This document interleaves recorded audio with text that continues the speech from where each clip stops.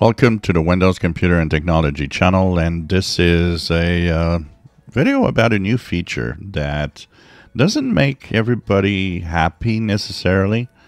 Although, personally, I don't see the negativity of it or the hype, but some are wondering if it's not a way to kind of shame people that are not subscribed to some um, feature or some service at Microsoft.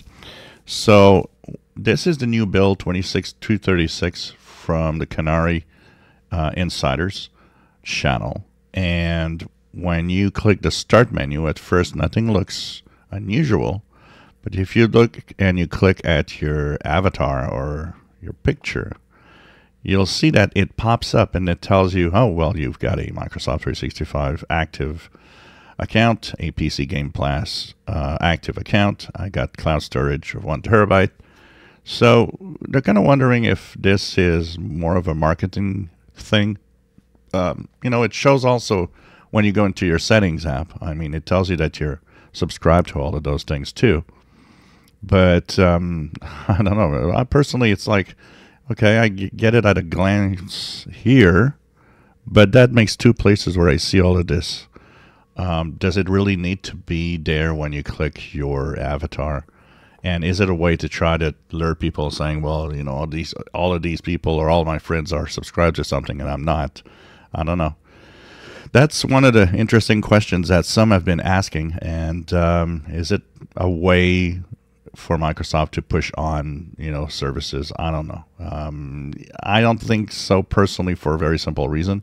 I never click my avatar. I always, you know, go to the settings and then I click on the settings app and then the settings app of all the information that I want into my accounts. If I click accounts, it's going to give me all my status of subscriptions.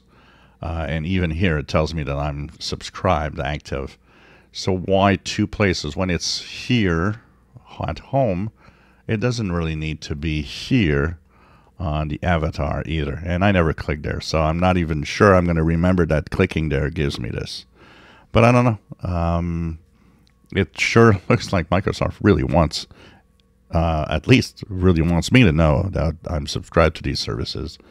Um, and does it mean that it wants everybody else to know? I don't know if it's a marketing move or not. But uh, you know, two places, once enough. I mean, the, settings app already has it.